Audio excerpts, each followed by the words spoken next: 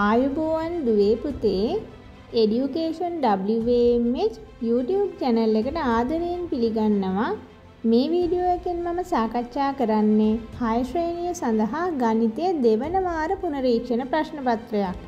ඉතින් නොබෝ දිනකින් පැවැත්වෙන විභාගයට ඔයාලට ඒක මහත් ප්‍රයෝජනයක් වේවි. ඒ වගේම මගේ channel එක subscribe කරලා දිගටම රැඳී සිටින්න කියලාත් ආරාධනා කරනවා. පළවෙනි ප්‍රශ්නේ ඉලක්කම් දෙකකින් යුත් සංඛ්‍යාවක එක් ඉලක්කමක් වන තුනෙහි ස්ථානීය අගය 10 වේ. එහි ඉතිරි ඉලක්කමෙන් නිරූපණය වන අගය 7කි. සංඛ්‍යාව ලියන්න. ස්ථානීය අගය 10 වෙන්න නම් ඒක තියෙන්න ඕන 10 ස්ථානයි. ඊළඟට නිරූපණය වන අගය 7යි නම් ඒක තියෙන්නේ එක ස්ථානයෙන් සංඛ්‍යාව වෙන්නේ 37. දෙවෙනි ප්‍රශ්නේ ආසන්න 10ට වැටයූ විට 60 ලැබෙන විශාලතම සංඛ්‍යාව සහ කුඩාම සංඛ්‍යාව ලියන්න කියලා කියනවා.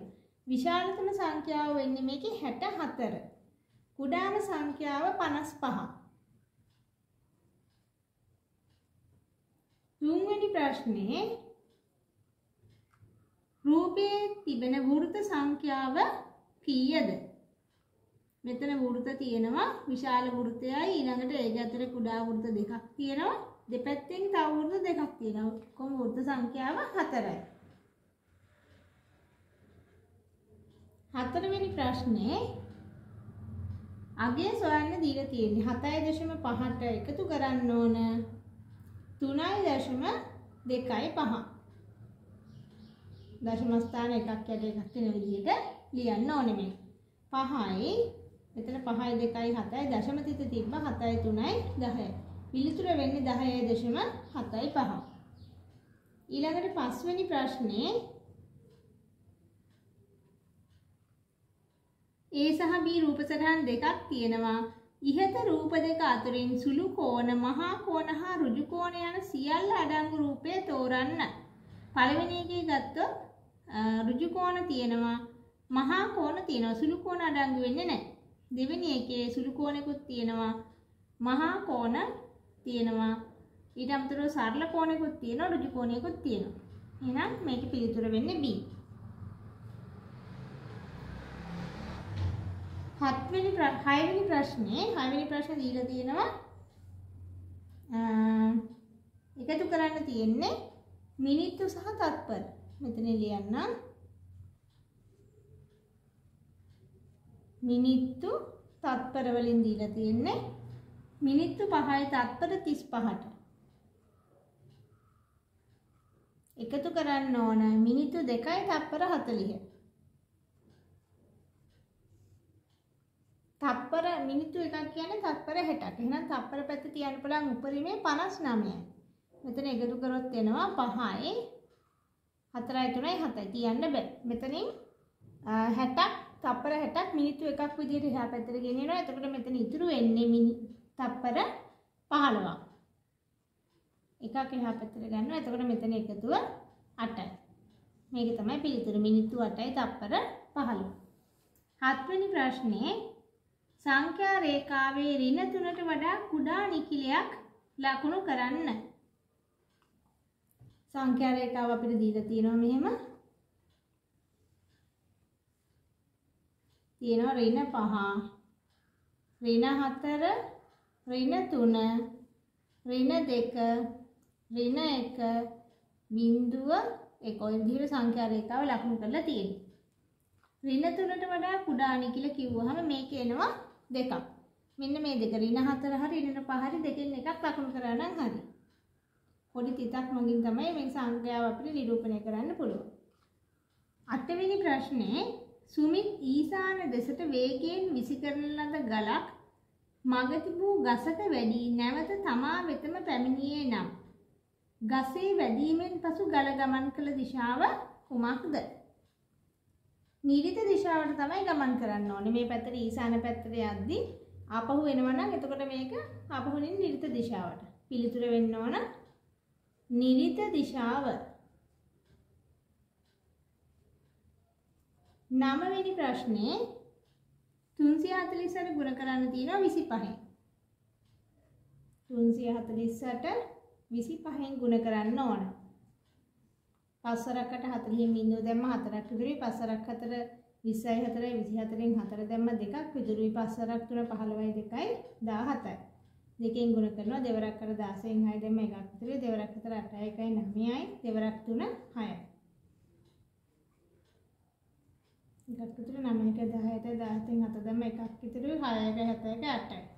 පිළිතුර වෙන්නේ 8700. ඊළඟට 10 වෙනි ප්‍රශ්නේ 20 36ත් අතර 4හි ගුණාකාර ලියන්න. අතර කිව්වහම දෙපැත්තේ දෙකම එන්නේ නැහැ. 20 36ත් අතරනේ තියෙන පළවෙනි එක වෙන්නේ 24. 24 එනවා ඊළඟට 28 32 මෙන්න මේ ටික තමයි එන්නේ. 11 වෙනි ප්‍රශ්නේ මේ රූප සටහන දීලා තියෙනවා. රූපයේ දැකිය හැකි පළවෙනි එක සමචතුරස්‍ර ගණන. විශාලම සමචතුරස්‍රය. ඊට පස්සේ මැද තියෙන සමචතුරස්‍රය සමචතුරස්‍ර දෙකක් මෙතන අපිට ගන්න පුළුවන්. සමචතුරස්‍ර සංඛ්‍යාව දෙකයි. ඊළඟට අහනවා ට්‍රපීසියම් ගණන. ට්‍රපීසියම් ගණන කොහොමද ගන්නේ? වටේට ට්‍රපීසියම් හතරක් තියෙනවා. ට්‍රපීසියම් සංඛ්‍යාව හතරයි. ඊට අමතරව වෙන ට්‍රපීසියමක් අපිට ගන්න බෑ මේකේ. ට්‍රපීසියම් ගාන වෙන්නේ හතරක්.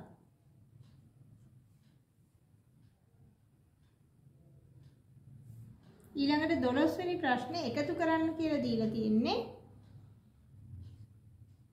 තුනෙන් දෙකට හයෙන් එක. මෙතන හරය සමාන නැති නිසා අපි හරය සමාන කරගෙන ඉන්න ඕනේ භාග දෙකේ.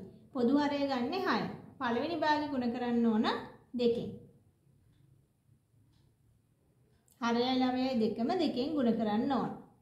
දෙක ගුණ කිරීම දෙක බෙදීම තුන ගුණ කිරීම දෙක දාන 6න් එක. මේක වෙනස් වෙන්නේ නැහැ. මෙතන එනවා 6න් 4 ධන 6න් 1 සමාන වෙනවා 6න් 5ට. ඊළඟට 13 වෙනි ප්‍රශ්නේ 3 බිලියන 7221 ඉලක්කමෙන් ලියන්න. 3 බිලියන 7000 3 බිලියන. ඊළඟට මිලියන කලාපේ නැති නිසා බිංදු වෙනවා. 7000 221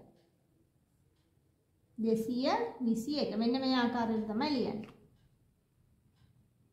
දා හතරවෙනි ප්‍රශ්නේ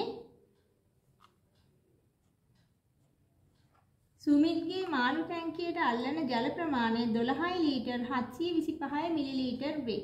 මෙම ප්‍රමාණය මිලිලීටර් වලින් දක්වන්න. අපි දන්නවා ලීටර් එකක් සමාන වෙන්නේ මිලිලීටර් 1000කට. එහෙනම් 12 ලීටර් කියන්නේ මිලිලීටර් 12000යි. එහෙනම් සම්පූර්ණ ප්‍රමාණය 12000 හත්සිය විසි පහයි මිලිලීටර්. පහළොස්වනි ප්‍රශ්නය මේ දීලා තියෙන රූපයේ පරිමිතිය තමයි අහන්නේ. මෙම රූපයේ පරිමිතිය මීටර් වලින් දක්වන්න. අපිට කරන්න පුළුවන් දිගයි පළලයි එකතු කරලා එක දෙකෙන් ගුණ කරන්න පුළුවන්. මෙතන දිගයි පළලයි එකතු කරොත් එනවා 100ක්.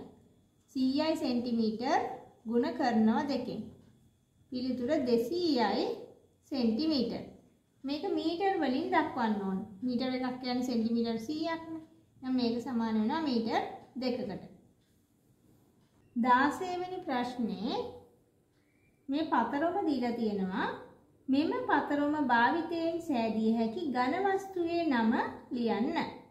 මේකේ මුහුණත් වල හැඩය ත්‍රිකෝණාකාරයි. එහෙනම් අපිට හදන්න පුළුවන් ඝන වස්තුව තමයි සවිති චතුස්තරය. සවිදි චතුස්තලය 17 වෙනි ප්‍රශ්නේ 1 4 9 16 යන සමචතුරස්‍ර සංඛ්‍යා රටාවේ 8 වෙනි පදය සොයන්න. කිසියම් සංඛ්‍යාවක් එම සංඛ්‍යාවෙන්ම ගුණ කිරීමෙන් තමයි අපිට සමචතුරස්‍ර සංඛ්‍යා ලැබෙන්නේ. එහෙනම් 8 වෙනි සමචතුරස්‍ර සංඛ්‍යාව ගන්න නම් කරන්නේ 8 8ෙන් ගුණ කරනවා. 8 ගුණ කිරීම 8. 64ක් එනවා. 64 තමයි 8 වෙනි පදේ. 18 වෙනි ප්‍රශ්නේ බස් රථයක මගීන් 78 දෙනෙක් සිටි අතර එක් නැවතුමකදී මගීන් 19 දෙනෙක් බසෙන් බසී නම් බසේ ඉතිරි වන ගණන සොයන්න. 78න් අඩු කරන්න ඕන 19ක්. 18න් 9ක් 9යි. මෙතන එතකොට ඉතුරු වෙන්නේ 6යි 6න් එකක් 5යි. 59ක් තමයි ඉතිරි සංඛ්‍යාව. 19 වෙනි ප්‍රශ්නේ 100න් 42 දශම සංඛ්‍යාවක් ලෙස ලියන්න. 0.4යි 2. 20 වෙනි ප්‍රශ්නේ 12 15 17 23 24 29 යන සංඛ්‍යා පැහැදිලිව වෙන් කළ හැකි සමූහ දෙකකට වෙන් කර පහත රූපවල දක්වන්න. සුදුසු නම් දෙකක්ද යෝජනා කරන්න. වෘත්ත දෙකක් තියලා තියෙනවා. අපිට වෘත්ත දෙකට කොහොමද වෙන් කරන්නේ මේ දීලා තියෙන සංඛ්‍යා ටික? 12 15 17 23 24 29 අපිට පුළුවන් ඔත්තේ සංඛ්‍යා සහ ඉරට්ටි සංඛ්‍යා කියලා වෙන් කරන්න. 12 ඊළඟට 24 12 සහ 24 ඉරට්ට සංඛ්‍යා. 15 17 23 29 මේවා ඔත්තේ සංඛ්‍යා. ඒ නම් දෙක දෙන්න පුළුවන්. ඉරට්ට සංඛ්‍යා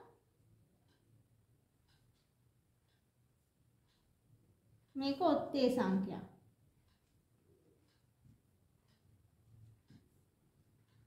නැත්තම් ප්‍රථමක සංඛ්‍යා සංයුත සංඛ්‍යා කියලා වෙන් කරන්නත් පුළුවන් කැමති නම්.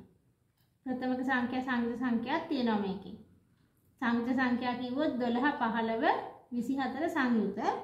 ඊළඟට අනිත් ටික එන්නේ ප්‍රථමක සංඛ්‍යා. 17 23 29 ප්‍රථමක සංඛ්‍යා. ඒ විදිහට පැහැදිලිව වෙන් කරන්න පුළුවන් විදිහට ගන්න ඕනේ.